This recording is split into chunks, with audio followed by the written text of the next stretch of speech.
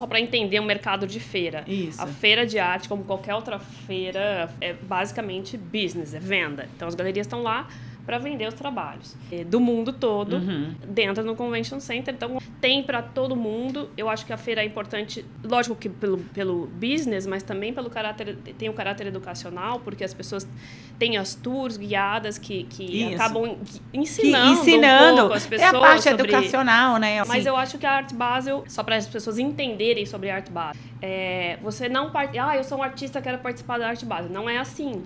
Então, assim, e também, ah, eu estou participando da Art Basel. Às vezes não está participando da Art Basel. Então, para você é, participar da Art Basel, as galerias apresentam um projeto e um comitê da Arte Basel responde se o projeto está Ah, aprovado ou não. legal. E aí você paga por aquele espaço e aí você vende a obra. Então, é assim que funciona. Assim, o, o, o artista não, não, não paga e está na Arte Basel.